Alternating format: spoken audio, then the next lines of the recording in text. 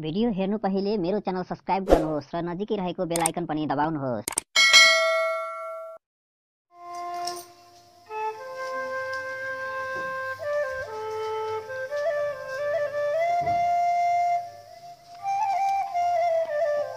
फेरि पनि म अर्को कथा लिएर उपस्थित भएको छु।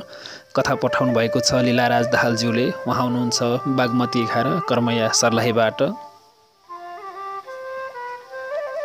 उहाँको कथाको शीर्षक रहेको छ पाहुना।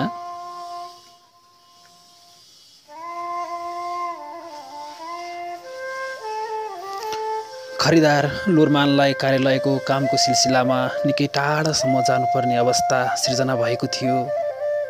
सानो जागिरको तलब र ठुलो परिवारको दायित्वबीच ऊ सधैँ असन्तुलित भइरहेको अवस्थामा कार्यालयको काममा यात्रा गर्न पाउँदा ऊ निकै खुसी भएको थियो। न्यून आएका कारण प्रायजसो उसको मनको सागरमा कन्जुसाइको ज्वार भाटा उठिरहन्थ्यो। आफ्नोमा पाहुना आउँदा निकै दुखी हुने ऊ अलि परको नाता पर्ने दिदीकोमा पाहुना लाग्ने योजना बनाउन थाल्यो।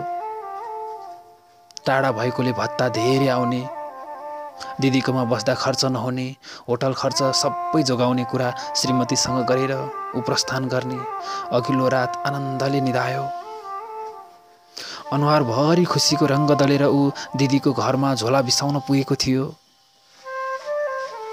दिदीको चालचुल नसुनेर उसले बाहिरबाटै बोलायो परकै भए पनि भाइको बोली सुन्ने बित्तिकै दिदीको शिथिल शरीरमा ऊर्जाको मन्द पवनले स्पर्श गर्न थालेको थियो। दिदीले बाहिर निस्केर भाइको अनुहार निहाली र मलिन स्वरमा भन्न थाली। तँ आएर ठिकै गरिस् भाइ तँलाई भेट्ने रहर पुरा भयो मेरो। म यो बिचमा निकै बिरामी भएँ। मलाई एकपटक डाक्टर कहाँ लगिदिए बाबु। मेरो कोपो छन् र श्रीमानले छोडेर गइहाल्नुभयो। छोराछोरी सहरतिरै छन्।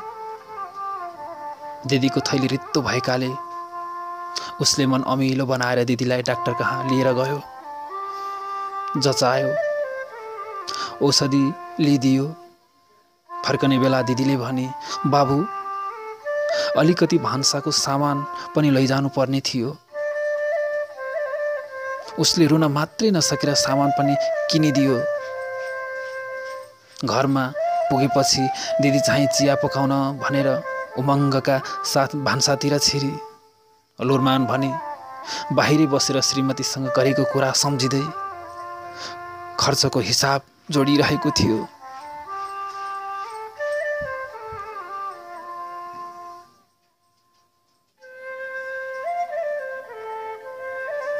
हजुर निकै नै मिठो कथा लेखेर पठाउनु भएको थियो लीलाराज दाहालज्यूले। लीलाराज दाहालज्यूलाई विशेष विशेष धन्यवाद। आभार प्रकट गर्न चाहन्छु र त्यसै गरी यतिन्जेलसम्म हामीलाई सुनेर बस्नुहुने तपाईँहरू सम्पूर्णलाई पनि हार्दिक हार्दिक धन्यवाद दिँदै लीलाराज दाहालज्यूको कथालाई म यहीँ टुङ्ग्याउँछु। हामीलाई सुन्दै रहनुहोला।